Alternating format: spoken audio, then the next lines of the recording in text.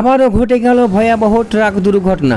নিয়ন্ত্রণ হারিয়ে ট্রাক উল্টে গুরুতর জখম চার। মৃত্যু হয়েছে দুইজনের। তো বন্ধুরা, এই দুর্ঘটনা কোথায় ঘটেছে, সেখানকার পরিস্থিতি কেমন রয়েছে, আমরা এ টু জেড আপনাদেরকে এই ভিডিওটির মাধ্যমে জানিয়ে দেবো।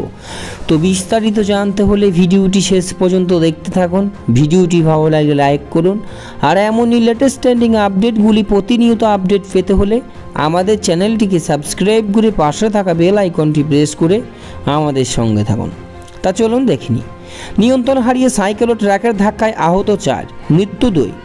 ঘটনা ঘটেছে বসিরহাট, মহকুমার, মিনাখা থানার বামনপুকুর গ্রাম পঞ্চায়েতের এলাকায়। মৃতের নাম প্রশান্ত কুমার গায়েন ও বিশাখা মণ্ডল। পুলিশ ও স্থানীয় সূত্রে জানা গিয়েছে, কলকাতা থেকে মালঞ্চ গ্রামে একটি ট্রাক বাসন্তী হাইওয়ে ধরে আসছিল। সেই সময় হঠাৎ গাড়ির ব্রেক ফেল হয়ে গেছে পরে।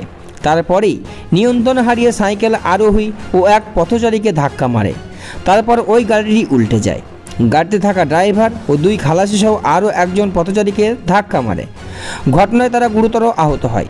পুলিশ ও স্থানীয় বাসিন্দাদের উদ্যোগে তড়িঘড়ি তাদের ছজনকে উদ্ধার করে মিনাখা গ্রামীণ হাসপাতালে নিয়ে গেলে বছর তেইশ বিশাখা মণ্ডল এবং পঞ্চায়েতে কর্মী সাতচল্লিশ বছর বয়সে প্রশান্ত কুমার গায়েনকে মৃত বলে ঘোষণা করে চিকিৎসকরা।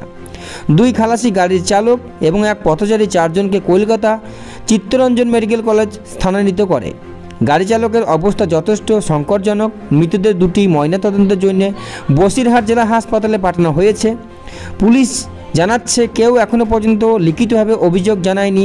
দুর্ঘটনাগ্রস্ত গাড়িটিকে উদ্ধার করেছে পুলিশ। তো বন্ধুরা, এই ছিল আজকের লেটেস্ট আপডেট ভিডিওটি ভালো লাগলে লাইক করুন, আর এমনই লেটেস্ট আপডেটগুলি জানতে হলে আমাদের চ্যানেলটিকে সাবস্ক্রাইব করে পাশে থাকা বেল আইকনটি প্রেস করে আমাদের সঙ্গে থাকুন।